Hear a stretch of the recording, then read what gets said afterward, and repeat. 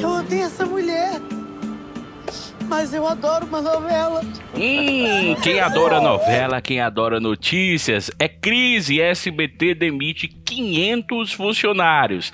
E essa coisa, quem vai substituir o Faustão? Quem, quem, quem? Mais um capítulo, dessa vez o diretor do BBB falou sobre o assunto. Thaís Araújo e uma agressão do passado. Quem agrediu? Eu quero saber. Alcione deixa hospital. Foi um grande susto, mas a marrom tá aí. Felipe Neto detonou os americanos e elogiou o SUS. Ficou sabendo? Paulo Betting detonou o Bolsonaro. Virou polêmica, eu já te conto. Não, você não pode fazer isso. Você, a agressão foi você que me empurrou pelas costas. A escola da fama dos famosos. Quem foi nota 10, quem foi nota 0, eu já te conto. Se liga no vídeo, curte agora. Globo no SBT, amigas, inimigas, rivais? Como assim? Luciano Huck, presidente e Angélica, primeira dama. A opinião do povo aqui. E a primeira rainha dos baixinhos do Brasil, infelizmente, partiu. Então, curte agora o vídeo, compartilha, se inscreve no canal, deixa a sua opinião que aqui você tem seu espaço, mas curte o vídeo. Curte agora que o seu bloco social tá chegando para você. Oi, gente, e aí, tudo bom? Se tá bom com você, se gosta do Raul Gil, se gosta da Patrícia Bravanel, se gosta do Bloco Social, curte agora o vídeo que eu vou te contar uma que talvez você não tenha ficado sabendo. Embora tendo investido milhões para comprar a Copa Libertadores da América, tirar o futebol da TV Globo, o SBT se tá em crise ou não, não sei, mas cerca de 500 funcionários, segundo o site Notícias da TV, foram demitidos. Como assim? É que o Bom Dia e Companhia, programa da Silvia Bravanel, já estava paralisado, as suas gravações. Agora, Raul Gil, que já estava paralisado, não tem mais data para voltar. O programa da Patrícia Bravanel também. E aí, o SBT preferiu demitir todos esses funcionários, câmeras, pessoal de produção, pessoal de camarins, não dá para ficar pagando salário sem ter perspectiva de volta. Eu não entendi por que o SBT não adotou procedimentos como a Globo, que fez remotamente o Altas Horas, o Conversa com Bial, o Domingão do Falsão, o Caldeirão do Hulk, o programa da Fátima Bernardes, e aí outros canais também fizeram o mesmo, somente com entrevistas, lives e deu sucesso. Mas parece que Silvio Santos é um daqueles caras que gosta daquela receita pronta, o auditório participando. E aí, quem dançou nessa história? Quem dançou foram os funcionários do SBT em várias partes do Brasil, todos que trabalhavam com o Raul Gil, com a Patrícia Bravanel, com a Silvia Bravanel e o Bom Dia e Companhia. Vale lembrar que vacina somente no final do ano, início do próximo ano, então para esse ano, o SBT parece que não tem volta com o programa. É uma pena. Que dica você daria para o Silvio Santos? Deixa aí que eu, quem sabe, posto no próximo vídeo. Que dica você dá para o SBT?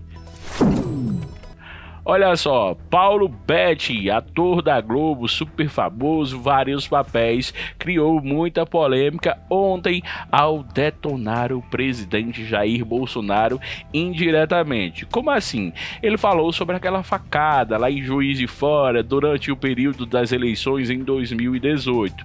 E aí? Será que aquela facada mudou o rumo das eleições aqui no Brasil naquele ano, sim ou não? Se não tivesse acontecido, o Bolsonaro teria ganho a eleição? Confira a versão do Paulo Betti. Eu, eu acho que nós temos que reconhecer que em algum momento nós falhamos muito, porque se, se, se, se tivéssemos tido realmente plantado alguma coisa sólida, ela não se desmancharia de uma forma tão fácil.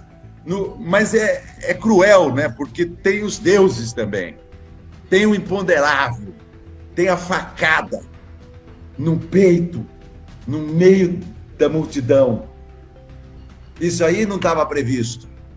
Ninguém tinha previsto que ia aparecer um maluco e golpear a camisa amarela onde estava escrito Brasil acima de tudo ali ia cravar uma faca ainda de uma maneira mais ou menos correta, mas não total. Desgraçado. É. Mas. E aí, você concorda com o Paulo Betti? Sim ou não? Foi errada? Foi certa? Será que mudou o rumo das eleições? Muita gente ainda quer saber quem pagou aquele cara lá naquela situação. Será que ele fez sozinho? Será que não fez? Será que o resultado influenciou nas eleições? O resultado das eleições para presidente e aí o presidente Jair Bolsonaro ganhou a eleição? Sim ou não? Eu preciso preciso saber da sua opinião. Quem sabe amanhã eu também não posso aqui no vídeo. E para você, o resultado, aquela facada lá em Juiz de Fora durante as eleições com o presidente Jair Bolsonaro, mudou o resultado das eleições? Sim ou não? Eu quero saber. Olha só, virou polêmica. Durante a entrevista para o canal GNT, Thaís Araújo relembrou uma situação que viveu com um ex-namorado, sem citar nomes, o que deixou muita gente com uma pulga na orelha. Ela contou que o então companheiro gritou com ela em determinada situação e que ela se sentiu mal por isso. Segundo ela, mandei um e-mail para ele. Era um namorado. Falei: Olha só, eu nunca tinha escutado um grito de um homem, nunca escutei meu pai gritar comigo, nunca escutei meu pai gritar com minha mãe, e isso não vai se repetir, disse ela. A atriz participou de uma campanha da ONU sobre violência e fez um relato, o abuso psicológico pelo qual passou. Esse texto foi um meu gatilho. Quando li, meu olho encheu de água. Quando eu vi, meu coração disparou e falei: Olha, o quanto isso mexeu comigo, afirmou a atriz. E aí deixou muita gente com uma pulga assim atrás da orelha. Ela disse que foi um ex-namorado e a gente sabe, não vou citar nomes para não criar polêmica. Se alguém quiser comentar aí, deixar seu comentário, tudo bem. Quem foi esse ex-namorado da Thaís Araújo? Vale lembrar que ela namorou algumas pessoas famosas. Será que foi um famoso? Sim ou não. Vou voltar ao texto de ontem e tem lá no final. Muita gente diz que Thaís Araújo seria uma ótima substituta para o Faustão. E aí eu deixo uma pergunta para você. Aqui o vídeo é cheio de perguntas. Thaís Araújo seria um ótimo nome para ter um programa semanal na TV Globo? Ela dominaria o palco, a plateia? Você curte sim ou não? Muita gente no vídeo de ontem disse que era sensacional sensacional a proposta. Eu também gostei, juro que sim. E você, gira a notícia. Vamos para a nossa nota 10 da Escola da Fama para Fábio Assunção. Ele que já virou piada nacional, todo mundo sabe. Hoje tá um orgulho. O cara casou essa semana com a nova esposa, Ana Verena. Parabéns. A nossa nota zero vai para um funcionário da Caixa Econômica Federal lá de Pernambuco. Como assim? Não pode entrevistar as pessoas nem nas ruas? Você viu, não viu? Veja agora. Então você se queixa do aplicativo não. É assim, eu estou na área externa, eu estou no banco estatal. Então, tipo, eu posso fazer a reportagem aqui. Deixa eu só continuar. Cadê? Continuar aqui o problema de Mariana. Mariana está com dificuldade para ter o caixa Não, você não pode fazer isso. Você, a agressão foi você que me empurrou pelas costas. Situação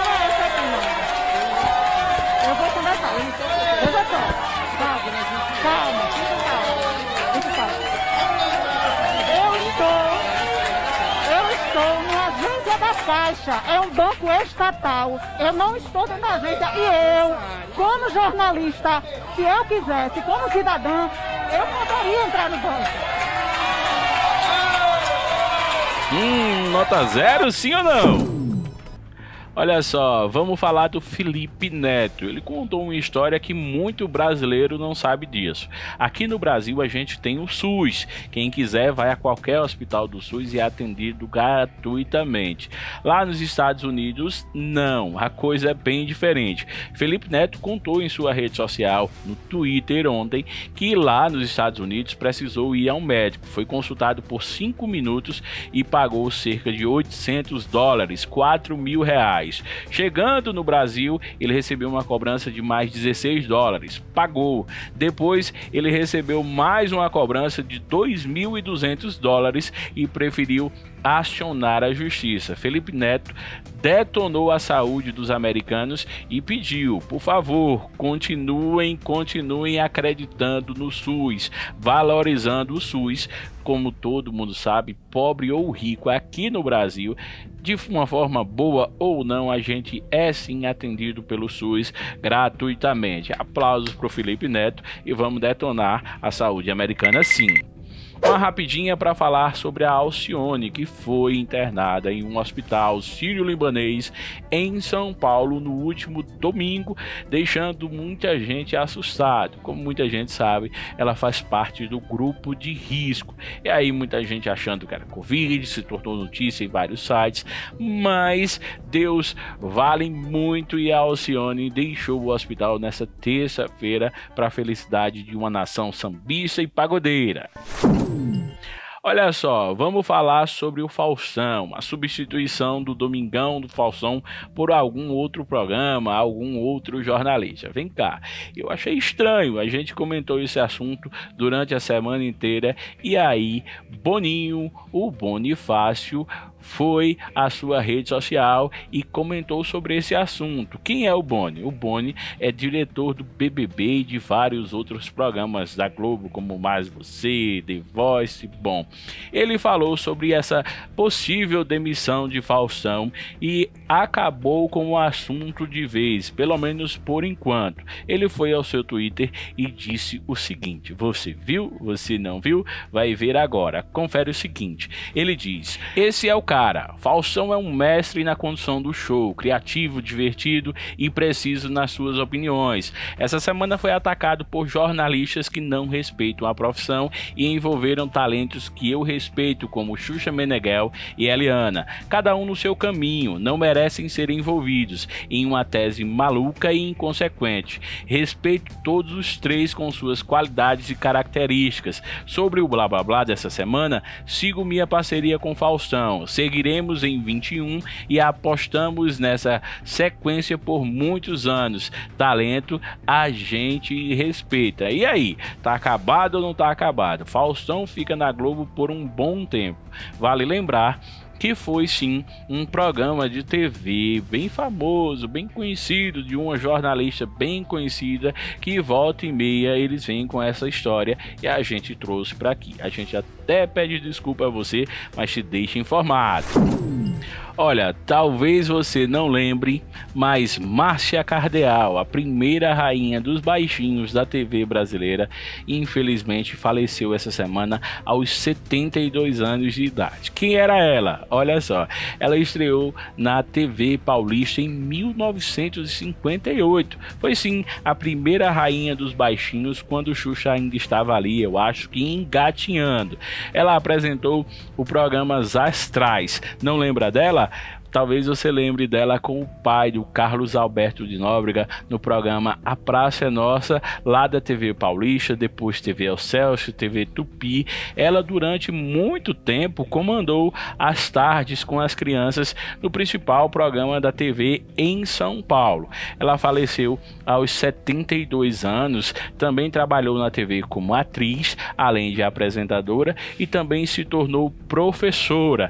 Ela foi o a primeira pessoa a levar para os baixinhos a Branca de Neve, o Chapeuzinho Vermelho e muita coisa boa para as crianças. Talvez hoje quem esteja com 50, 60 anos em São Paulo lembre da Márcia Cardeal. E claro que a gente vai deixar nosso grande abraço para a família dessa primeira rainha dos baixinhos. Mas vamos às opiniões dos fãs. Júlia Vilela falou sobre a briga da Globo com o SBT. O Silvio Santos fez um merchandising para o último capítulo de Hebe, que vai passar onde? Na Globo. Essa rivalidade Globo e SBT é igual ao futebol. Quando tem uns brigando por nada, os motivos da briga estão fazendo a maior festa e são amigos ainda por cima. Bom, você viu que o SBT anunciou a série da Globo? Você não viu? Eu te mostro agora. Deixa sua opinião. Amanhã, quinta-feira, às 22h45. Não perca na Globo o último capítulo da série Hebe. Isso mesmo. O pessoal também falou sobre Luciano, presidente, e Angélica, primeira-dama. Márcia Vieira disse: nada a ver, Luciano Huck ser presidente da República. Já a Cristina Dantas Costa falou: acho que sim, Luciano irá beneficiar todos. E aí, você continua achando que Luciano dá para presidente do Brasil? Dá certo? Sim ou não? E Angélica, primeira-dama? O que é que você acha. Eu quero saber. Deixa seu recado. Amanhã tem mais vídeo aqui no seu, no nosso, bem gostosinho. Flock Social. Segue a gente nas redes sociais. Tchau, tchau.